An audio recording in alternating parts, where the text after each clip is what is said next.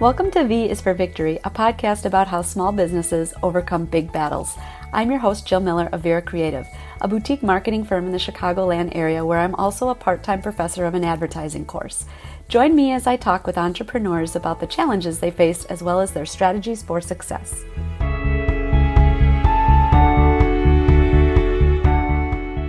Everybody. Welcome to V is for Victory. We are in episode 40, and I am super excited to be joined today by Sergio Rojas, a great friend of mine from way back in the day. Do you realize we go back 20 years at least? Because I knew you when I was using a fake ID to get into bars. So.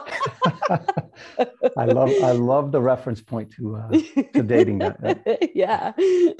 yeah, Sergio, you have quite the resume. Let me tell you what I know without doing any research or catch up um, whatsoever. I remember you owned Redefine Fitness in Chicago.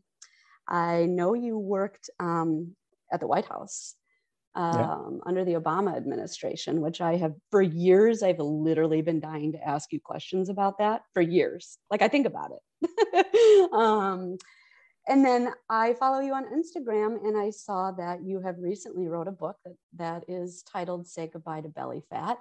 And I was like, I got to have you on my show because I got to have I got to have you promote this book. So let's take a few steps back and just tell me you know where your journey begins. Take me as far back as you want um, where your journey begins and and how this book really came to fruition. What was your history your background your credentials whatever you want to talk about.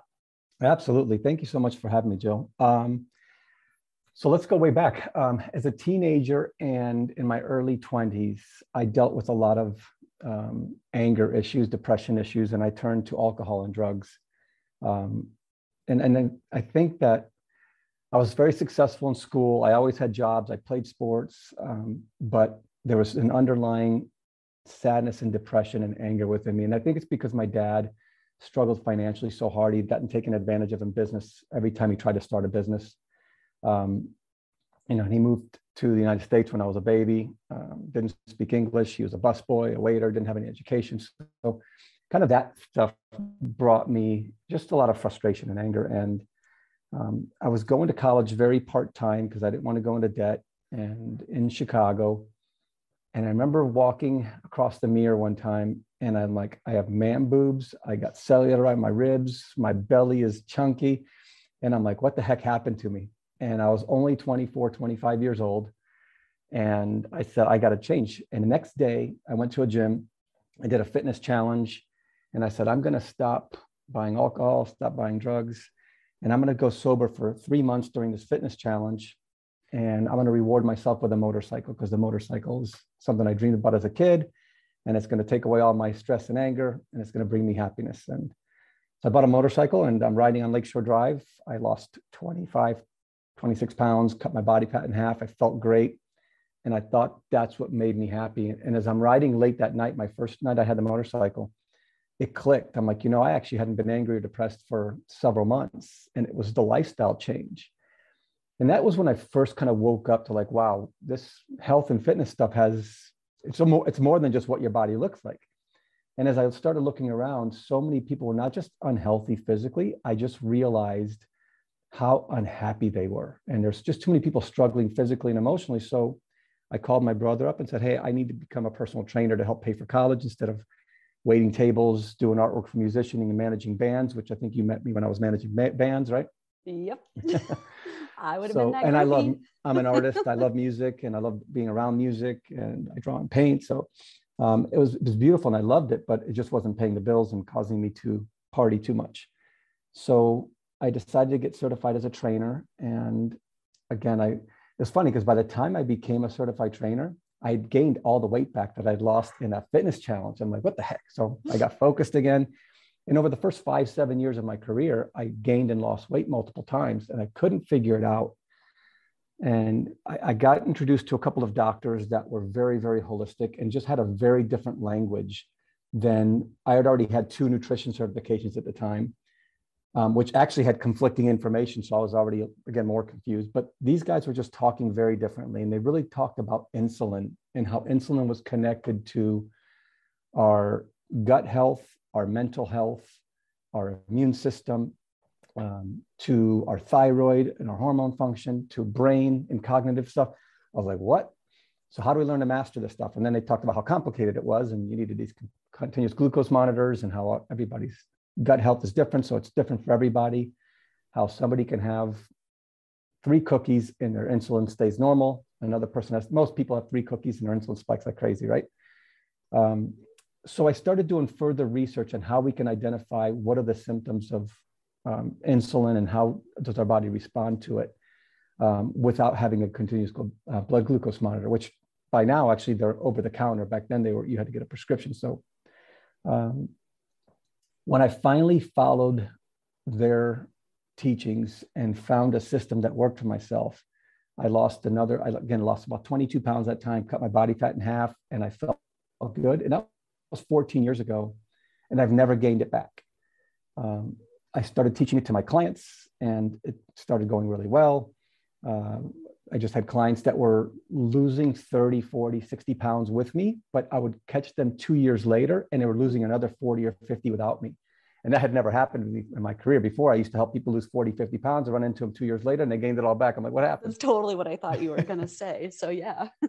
so, that, I mean, that was the majority of my career in the beginning. And, and that's why I just, I struggled with it. I'm like, I can, I know I can help you lose weight. I just don't know how to help you keep it off. And when I really started learning all these practices and mindful habits, and they're micro habits that you connect to your living and that are connected to your insulin, that really made it was a game changer for me. And then I got hired uh, by a trucking company that said, "Hey, we need somebody to help build a wellness program for truck drivers." I'm like, "Oof, okay." And I was consulting for them. They they wanted me in house, so we moved to Iowa from Chicago, um, and I started studying truck drivers, their lifestyle, and used these same principles. And lo and behold, I mean, we helped over 700 truck drivers. Um, I would say probably 100 of them got off their medications.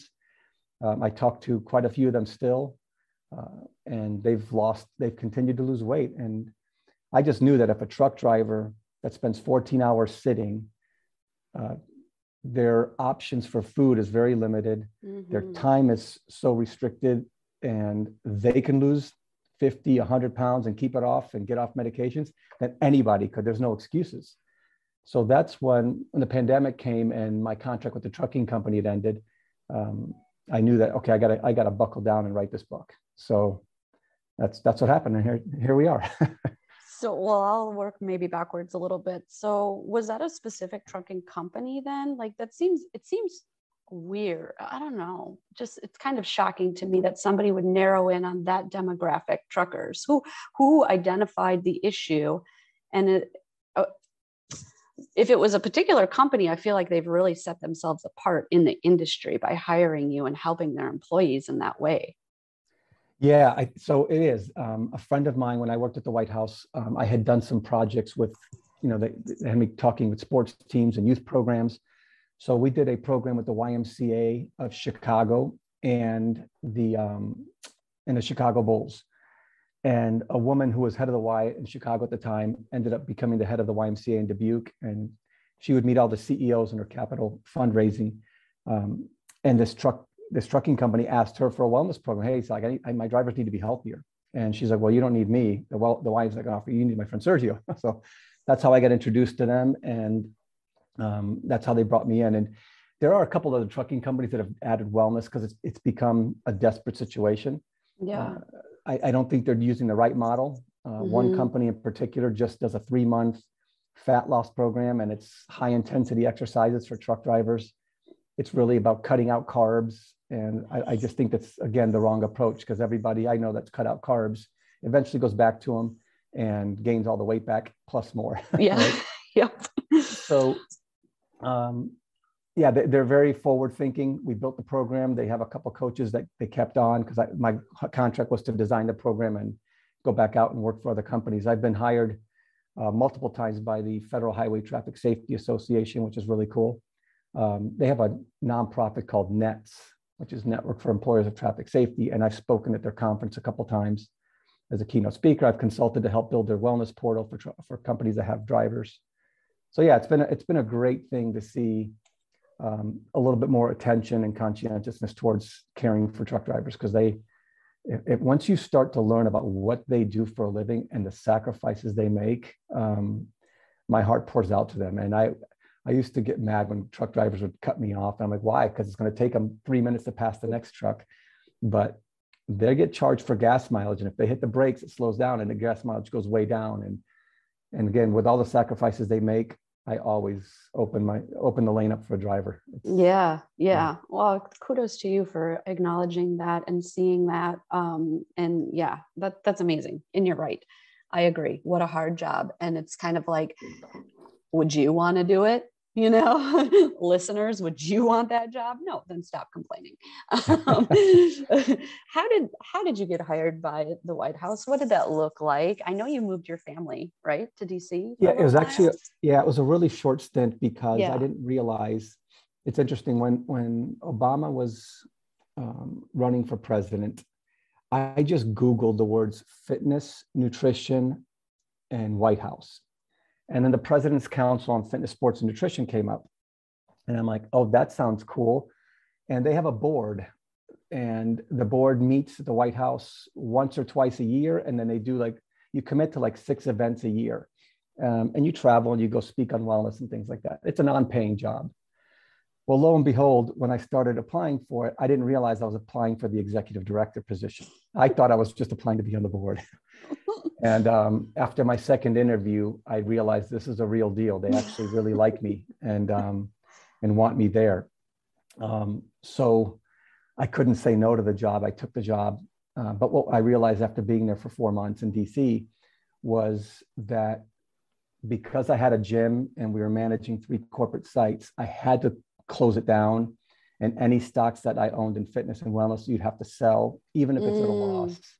And they say a lot of people take a loss because of conflict of interest, or what? exactly. what? Because it's interesting. yeah, interesting. Because there's plenty of conflicts of interest in the oh White House gosh. presently. Hmm. Yeah, and and I, I'm like, and you get crazy security clearance. I mean, they did the biggest background FBI check on me. They and they gave me pretty deep security clearance, which is fantastic, and I loved it. Yeah. Um, but they, you know, they just said, hey, you have to make a choice. And they gave me two months. So I was there for six months. Um, it was an honor. It was a blessing. Um, no matter what you think of the politics and policies, I, I will say one thing because we're going to talk about politics for two seconds here. no matter what side you're on, left or right, the extreme of both sides are whack jobs, right? You, you gotta you gotta let go of the extremities. The middle path has more wisdom, but no president has the power to do what you think they do. When I stepped into the position, um, the woman who was acting in my position is a career politician. She works, um, I forgot what department she works in. She was in, in, the Navy and stuff like that, but fantastic woman. She's the godmother to George W., one of his, one of their daughters. And says, Sergio, whatever you hear about George W., I can only tell you, him and Laura are one of the kindest people on the planet. And some of the stuff that the news is saying about him, he didn't even have a chance or control about. Mm, There's a machine yeah. in politics, right? Yeah. Money, corporations Right. And so whatever people think about Obama, don't think he made all those decisions. There's a machine. Yeah. Um, I can say that he's a an, an amazing human being, deeply caring. Um, he comes from, you know, community activism. So does he have all the financial wherewithal to to run the way run it as a business the way a lot of Republicans would? No, but um, but he's a good person and, and cares deeply. And I think George W. is probably very much the same. I think he's a mm-hmm. really caring person. I think his dad was more connected to the machine than he was and stuff. But outside of that, the middle path, baby, it's way more, way less drama and a lot, yeah. more, a lot more truth. The middle yeah. path. Yeah, you know? I hear you. Okay, let's go back one more time. Yes. Your dad got a little swindled in business, but you have been very successful. So, what did you learn by his mistakes? Would you say? Were you too young at the time? Well, let's you... let, let me be clear on, on success and, and, and stuff. So um, my dad had started three different businesses with three different partners. Actually, one of his partners was his cousin. And um, his cousin even took advantage of him.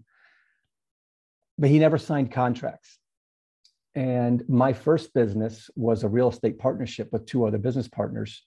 And we didn't sign contracts. And I was not successful in that venture.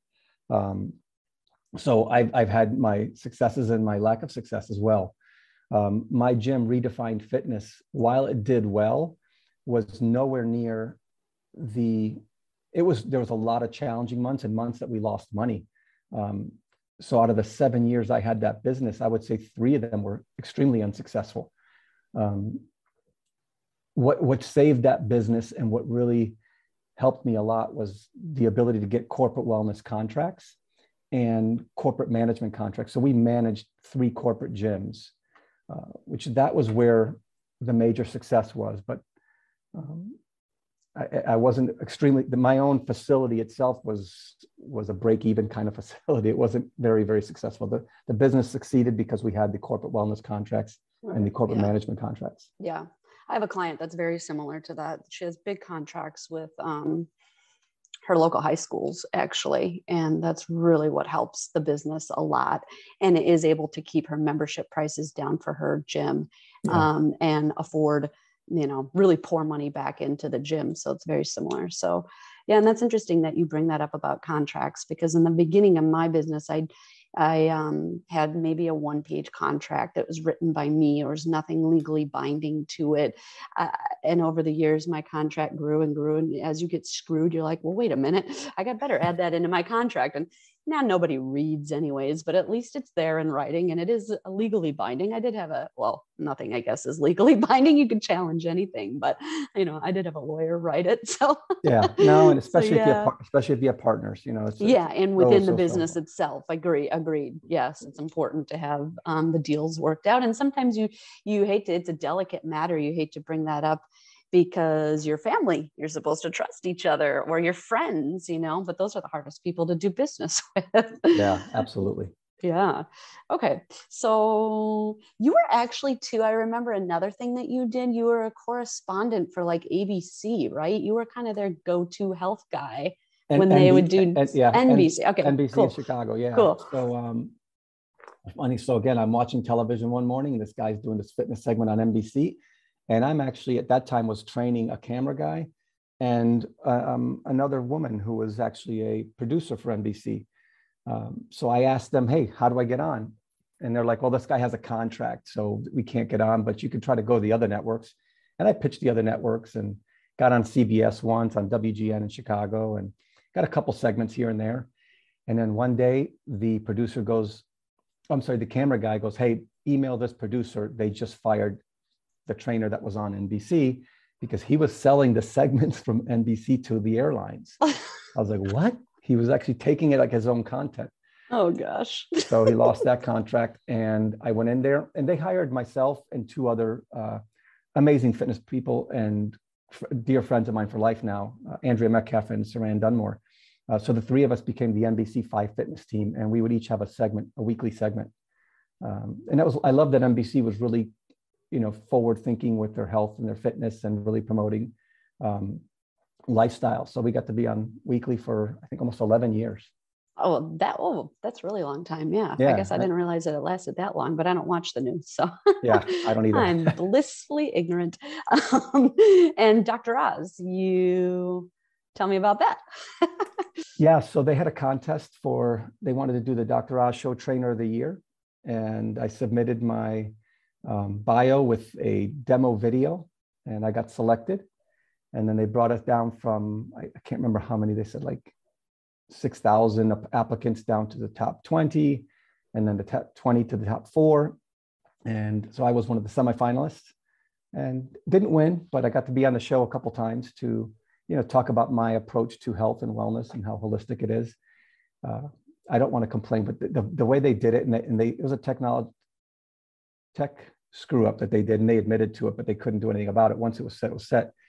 You can vote a million times. Mm. like you could mm. just sit there and vote and vote and vote and vote. And i didn't tell anybody to do that. I thought just vote once and right. i want to get a million right. people to vote once. Right right. So um, that, that was part of the reason that that went that way. But you know the, the person who won i think she's amazing as well. She's a firefighter in canada and a spectacular human being. So many blessings to her and, and it was just a grateful a grateful experience and Dr. Oz and I built a relationship because of that. I mean, I've, I've done a couple of 5Ks with him where we were both emceeing uh, for, for charities. Uh, so it's been really, he's, he's, a fantastic human being. He's now running for politics, and I, I hear people complaining about him, but again, I just know him as a human being in his heart. I'll stay away from the politics for that. Yeah. yeah. Well, I'm going to go right back to the politics just for a second. All the times you were uh, public facing, were you ever told, like, mm, can't talk about that, or there's certain things you can't say, or, you know, we've got this big sponsor for this network and they don't want you touching on XYZ? Was that any at all in your experience? So, you know, yes, in the news. Um, so when you're on the news and I'm trying to speak nutrition truths, and some of the products I'm going to talk about, their um, their marketing is healthy, but they're really unhealthy, are owned by some of the sponsors that pay big money for commercials. And I was told multiple times that I can't do that. So I've had to refrain on there. Um, when it came to working for the White House, there were no real, I mean, mostly I was talking health and fitness stuff. The only one issue I had there was when at, at one time they were promoting, um, and it was the American Heart Association, and I think the White House was endorsing it as well, um, giving these green check marks to, to healthy foods um, when they were low, because they were low fat. Ugh, yeah. Uh, and in particular, like low fat yogurts are getting these big check marks, these cereals because they were low fat were getting check marks. And I'm like, hold on a second, folks, let's talk about insulin here and, and, and, the, and the cause of diabetes and the cause yeah. of cancers and the cause of heart disease and the cause of obesity.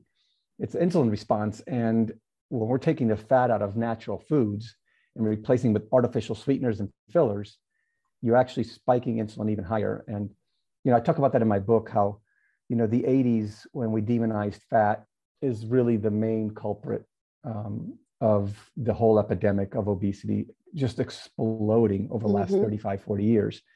I mean, I talk about these when I do a lot of lectures. I'm like, you know, I'm 51 now. And when people are anywhere between the ages of 40 and older, I think, if you think about high, you know, even elementary school, junior high, there was one out of 30 kids that was obese, maybe two. Yeah. You know, um, it just, it just didn't exist. And then all of a sudden, you know, you ask a child now, or how many people knew somebody who had cancer back then? You know, it was really very rare. And if you ask people now, it's six out of 10 kids are overweight. Yeah. You know, yep. Three out of 10 are obese. Scary, scary, scary thing going on. And I, I hope that people, and it's never body shaming. I have no problem with some belly fat, with some fat around the body. I think it's it's a beautiful thing. I have no issues with it. It's just excess. Um, and if your energy is lower, um, if you can't sleep well, then you got to be mindful and pay attention to those things. So, right, yeah. Yeah, I know agreed, I'm going agreed. on a tangent from your question. No, no, yeah. No, so I didn't you, get asked a lot of you, those things that were conflicting with, with the White House. I didn't have to. Okay, okay. So, needless to say, we've you have the credentials, got the street cred. You're experienced guy. if anybody can write a book, it's you. Although I do want to go back one more time. Did you go to India? Yeah, I've been to India a couple times. Can you talk to me about um, your that was was it like a yoga retreat? Yeah, I, or... I love I love the variety of questions. Mm-hmm, for sure, because you know I'm a I'm a yoga teacher as well, but I've never been there, and I just I'm just curious as to do you have anything you can share about what shaped you while you were there? What really resonated with you? Well, yeah, let me tell you how I got there because I think it's yeah. a really kind of funky and interesting story. Um, I was reading. I, studied at Loyola University, and I have. Um, two majors and a minor. Psychology and fine arts are my two majors. I wanted to be an art therapist, but I wanted to be a spiritual art therapist. So I added religion and theology as my minor. And in theology, we are learning Eastern um, religions. And I was studying a lot about Buddhism. And I was reading a book by the Dalai Lama. And one of my clients came in and she's like, Oh, you're in. I'm like, Well, I'm into all religions. I love theology and spirituality. And love learning about it um, a lot from books about the Dalai Lama. And she's like, well, the Dalai Lama's youngest brother is coming to my house for dinner next in two weeks. Would you like to come? I'm like, really? She's like, oh yeah. I'm like, she's like, I'm like, you know, I'm a filmmaker. I'm like, yeah, you told me you make documentaries, but I didn't know you. She's like, yeah. So his youngest brother's coming into town and come on my house for dinner. We have six of us for dinner. You want to join us? I'm like, please. So I get there and there's a Franciscan monk named Brother Wayne Teasdale late brother Wayne Teasdale, who passed away in 2004, but we built a really, really strong friendship and he became my meditation mentor and teacher for many years before he passed. And he was diagnosed with cancer and him, and he's very, very close friends with the Dalai Lama and the Dalai Lama's youngest brother. And he had been diagnosed with cancer in his mouth So that's why TC Tenzin Choegyal had come to Chicago to just to visit him. So we're standing around at my client Valerie's house, and she's like, or in uh, TC goes, Sergio, sit between me and this guy because these Catholics are crazy, you know.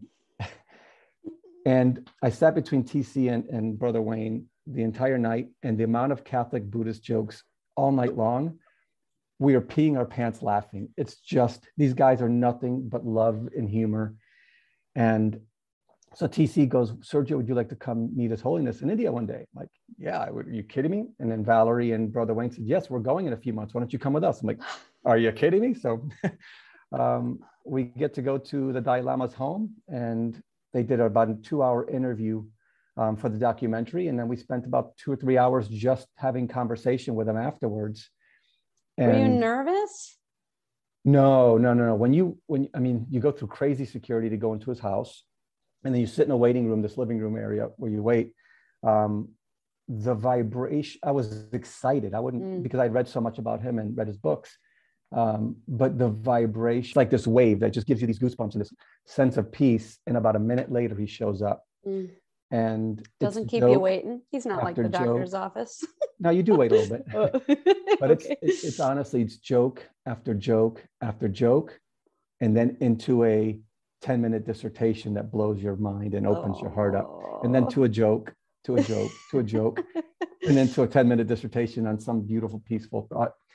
And then I was interviewed again. Uh, I got to go there again a second time because I was doing radio for WLUW in Chicago, which is the college radio station for Loyola and I was invited to come and interview the Dalai Lama for my radio show called Peace Waves.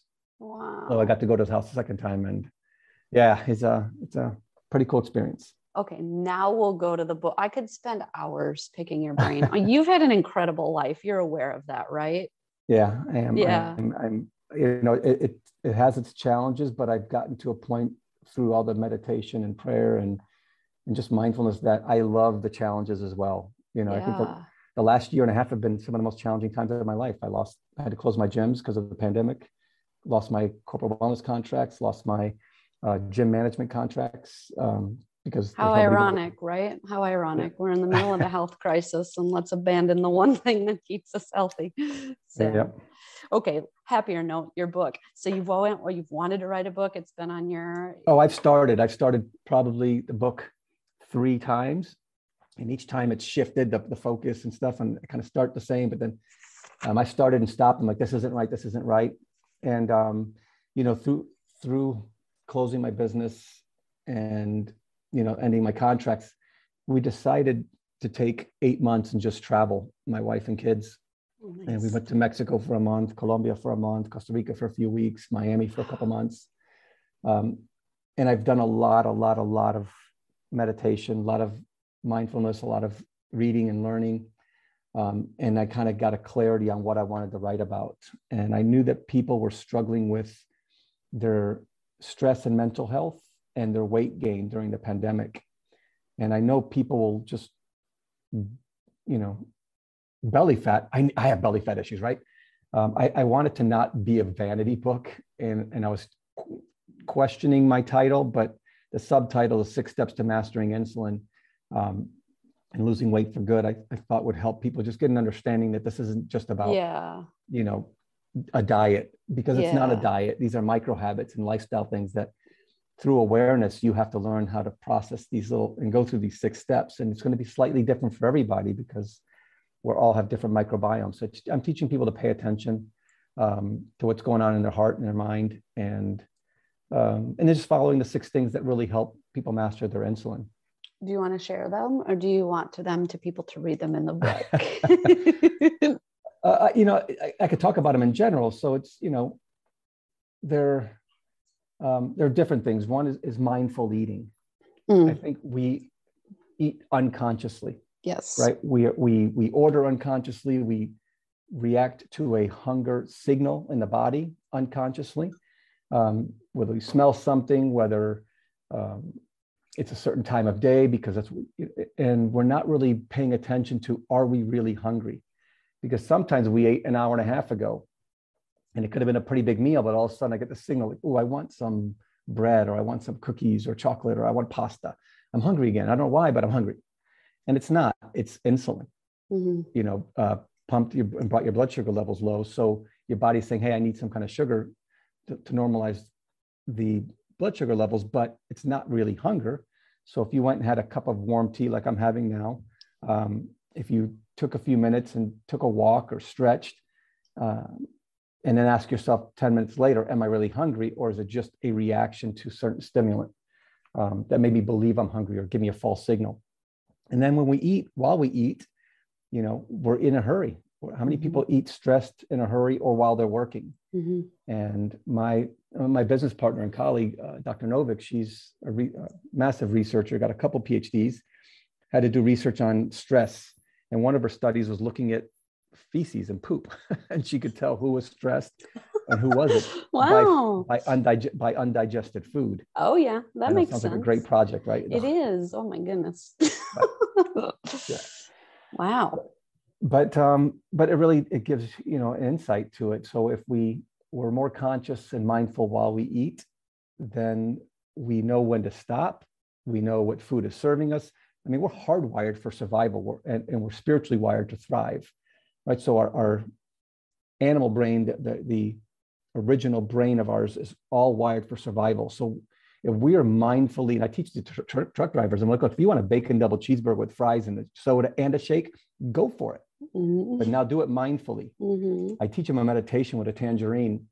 And we do this meditation where we eat really slowly. We look at it, we think about the origin of it, peel it slowly, chew slowly, and all in silence. And at the end, we ask how, what was it like? And they're like, oh my God, that's the best tangerine I've ever had. I didn't realize they were this refreshing. or they didn't taste Yes. Right. Yes. I'm like, cool. I go, so if you want to do that with a bacon double cheeseburger, go for it. And you do it. And we all need salt, sugar, fat, and calories. So those first two or three bites are nourishing your body. But past that, I mean, those- they have so much salt, sugar, fat, and calories in a you don't bites. even taste anything past that, really. Right. Like so you don't need anymore. And and I had truck drivers come back to me and say, Sergio, this is crazy. He's like, I used to eat two double cheeseburgers. Now I only eat a half of one. And I don't even get them every day. I used to get them every day. Now I get them once or twice a week. I'm like, perfect. Yeah. How do you feel? So much better. I didn't Yeah. know I could. I, I- I'm sleeping better now. I don't even. I don't even need my cups of coffee or my. I don't need my monster anymore. I just drink one cup of coffee and I'm great. I'm Yeah. Like beautiful. Yeah. That's what it's all about. So that's that's one of my my first step is mindful eating because it's all about awareness. Mhm. Um, you know, and then the, the third part. There's three parts of mindfulness. It's pre-meal, during meal, and post-meal. And then post-meal, pay attention. Does the food give you more energy or less energy? Mhm. Does Eat it from have- cause. Does it give you mental clarity or does it give you mental fogginess? Does it cause you to bloat or do you feel normal and satiated? Yeah. And those are things that are giving you a sign of what you're eating is nourishing and beneficial to you or not. Mhm. You know, uh, people don't realize this, but broccoli, which is one of the healthiest foods on the planet, somewhere between 10 and 15% of people don't digest it well. So Mm, it's not really good for them, especially raw. So they definitely have to cook it. And mm. some people don't do well with even cooked broccoli. So um, it's paying attention to what works for you specifically. Um, the, the next step is getting your gut healthy. Uh, people don't realize that our gut health has what it really controls not only our immune system, but it controls our mood, our brain, our cognition. Um, it's connected to what, how much food we abs- or nutrients we absorb. So I give different steps on how you get your gut healthy. Um, I talk about macros, obviously proteins, fat, fiber, carbs, but I also add water and alcohol um, there as well because in fiber that we need to talk about. Um, but I think more importantly than what I really want to get across in that chapter is the prioritization should not be on your macro ratios. It should be on the quality of your macros. Because if you're eating 80% carbs, but it's, you know, quinoa and brown rice and lentils and vegetables and Yeah. um, ancient grains, then you could eat 80 or 90% carbs and probably just fine. But if Mhm. your 80% carbs comes from, you know, a muffin with breakfast, it comes from the sugar in your latte, and it comes from croissants, and it comes from pastas that are refined flour, then you're you're you're doomed. So look at the quality first. And same as protein. People think that hey, I'm eating protein because I'm going to, you know, Burger King and getting a chicken sandwich. It's got tons of protein. Well, let's look at what the bread's made out of, and then let's look at that chicken that's being served at a fast food restaurant. Um, how much hormones does it have in it? What was the lifestyle of that chicken? You know, so you know, really looking at resources for getting wildly raised chickens uh, or wild turkey or you know venison bison you know mm. anything that's wild is a hundred times better than um, anything that's farm raised mm. and a friend of mine uh, she actually has helped me a lot uh, through kind of like uh, muscle testing she actually 17 years studying to help her daughter who was really really ill um, has a book called The Wildatarian Diet, mm. and okay. I and I highly suggest it. So yeah, yeah. we use a we use a muscle tester too, doctor. Yeah. yeah. Mm-hmm. Yep. Uh, so macros fasting. I talk about fasting. Um, fasting is probably one of the most underutilized and most powerful tools to managing insulin. To, I mean, it, it Dr. Walter Longo wrote a book um, called, he has the Longevity Institute, and he, he did fasting for cancer patients before chemo and how much more impactful and how much less chemo people need. Wow. Uh, when you do fasting beforehand. Um, obviously, I talk about moving um, and exercise, but I teach it, I talk about it in a way that most people don't like to exercise. Let's keep it real in the field. Right? Yeah. you know, we know that about 5% of the population really enjoy exercise and about 10% of the population um, actually exercises uh, on a regular basis. They say about 25 to 30% of the population exercises the minimal amount, but a really good amount is about 10%. But how many people love to move more youthful and pain free and like to hike and cycle and swim and that stuff? So that's where we got to start.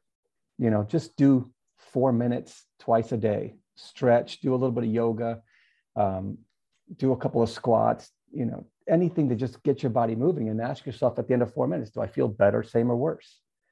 And that becomes internal. And that's what I taught to our truck drivers. And because I didn't say, hey, go do this 30 or 45 minute workout, um, because that's external, right? That's that's a chore. Yeah. And we have to shift it from a chore to a gift. Mm. If it's a chore, we'll do it for a few months, sometimes just a few weeks but it all 95% of us are going to give up on it. So we have to move. And then I talk about sleep, and sleep is the number one thing that impacts all areas of our health. Uh, so those are the six steps: being mindful eating, getting your gut healthy, managing your macros, um, fasting, moving, and sleeping. uh, and where can people get the book right now? Yeah, so uh, the website is myforeverfatloss.com Okay. People are asking me why I didn't put it on Amazon. Well, that's a political question in some ways. Uh, you know, it's just funny, interesting thing. Jeff Bezos went to my high school.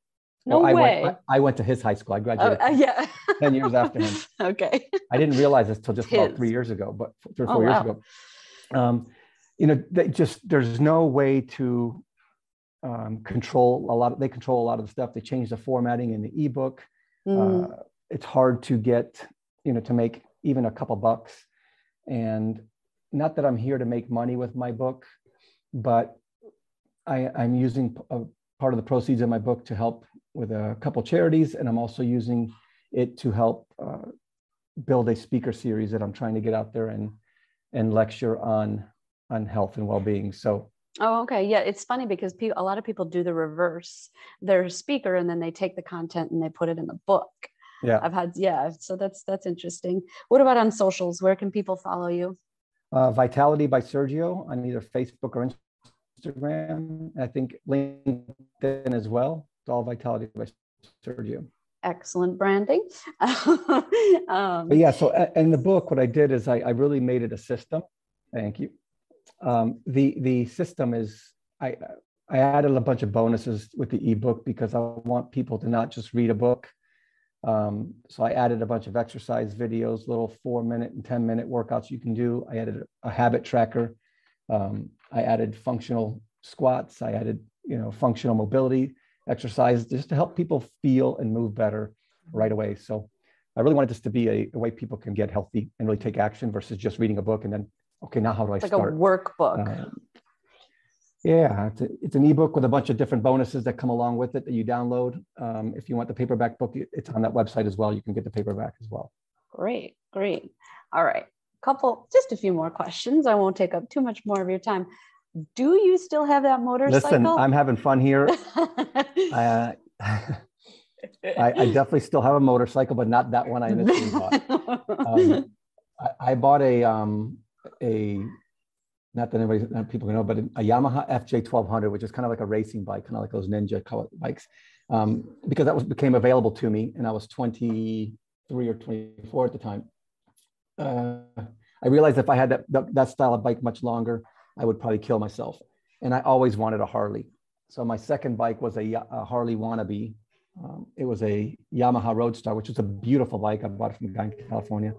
And then I got a Harley, and then I had two Harleys, and then we sold one of the Harleys, and I have I have a nice, beautiful um, Harley that I get to ride, and I can put a tank with a backrest on it for the, my kids. My kids love to ride with me, so yeah. I was going to ask about your wife, Krista. Is that's her name, right? Yeah, she, she, she ride with you. no, she rode. She rode once with me in the city of Chicago, going to a street festival and of course you're in traffic now that's i go that babe this isn't a motorcycle ride you got to yeah. really want to ride with me she's still she's saying she's getting the courage to but the kids love it and yeah i, I love taking the kids out for a ride my that's next so I, I, wanted to get a, a, a motorcycle with a side cart so i could take both kids at the same time when they were small enough or the dog do you have a dog put him in there be that guy cruising around yeah so funny looking I'll, I'll, still i'll still get one i'll get one soon I love it.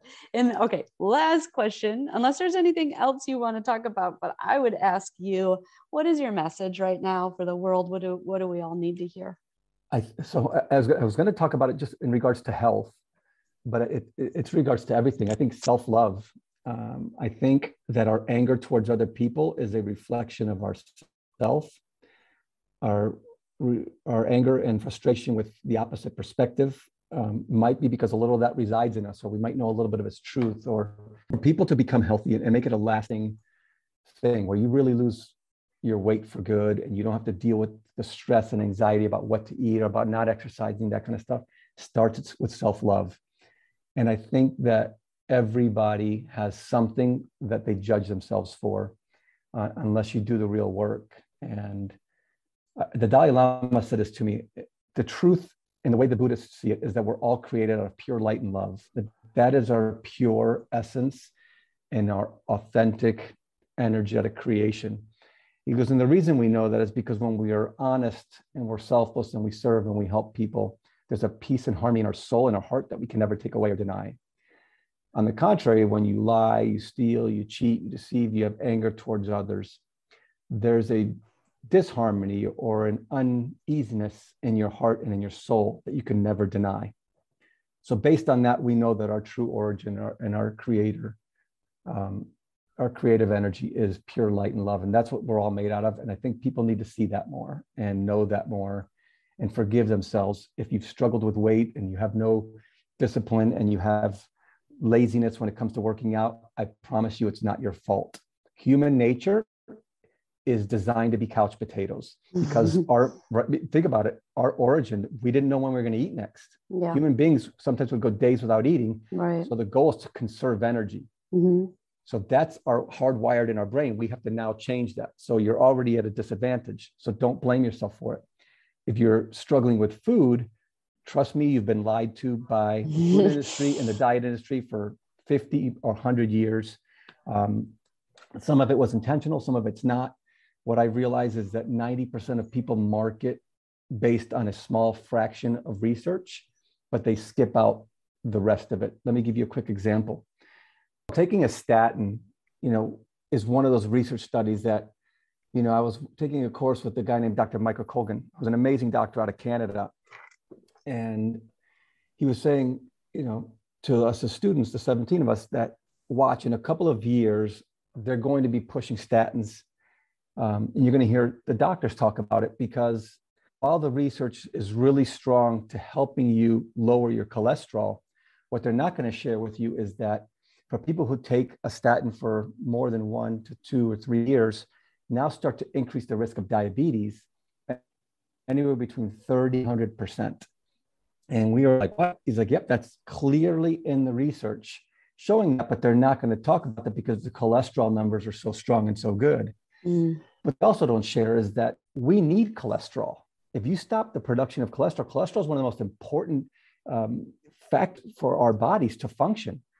So instead of stopping the production of cholesterol, and, I, I'm sure it's needed for some people, they're just genetics and their diet is so bad, but if we could change the diet, if we could start the walking and the exercising a little bit and stretching and, you know, eating the right foods, we can really make a huge impact on, you know, really lowering or changing the ratios of cholesterol is really what I'm trying to get at more than anything. So my whole point of this conversation is that I don't want people to blame themselves. I, I want people to forgive themselves and love themselves. And, and I think really caring for yourself and taking care of your health is our spiritual responsibility. It's we're, we're supposed to honor, nurture, and care for our bodies and minds, not abuse it. So take your health seriously. It's not as hard as you think, and it's more worth it than you think. Mm. Um, and it impacts the people around you. There's no way about it. So many people sacrifice their health to take care of others when that's actually doing more harm. So showing people that you take care of your body and your mind uh, is going to be a, a much more impactful way of being able to help people. One, because they model behavior, and two, because you'll have more energy and focus and clarity on how to take care of them. Yeah, beautifully said. Sergio, what a enlightening conversation to say the least. Um, I can't wait. I want to have you on again and we'll touch on different topics. Um, but this has been absolutely great. I want to encourage listeners just to follow Sergio on social media check out the book. I agree. I think it's very hard to discern and shuffle through all of the media and the news and the noise and, and get to the truth. And it's it's nice when we can have a trusted source that's done the research because face it a lot of people just will not take the time to do the research. They cling to the headline or the byline. Um, but you've packaged it up in this nice um, book and ebook with all the value add. And um, i know a lot of people are going to be able to benefit from it and appreciate it. I'm certainly going to get my hands on it right after we hang up from this interview. I can't wait. So yeah, Joe, it was uh, such yeah. a pleasure catching up and, and yeah. talking to you. I think yeah. you're doing a great thing and thank you. Um, I love your energy. So I'm Thank, beyond oh, grateful. For likewise. Thank you so much for your time and for um, putting up with my technical difficulties. I've had a few of those my own. All right, my friend. Take care. All right, take care.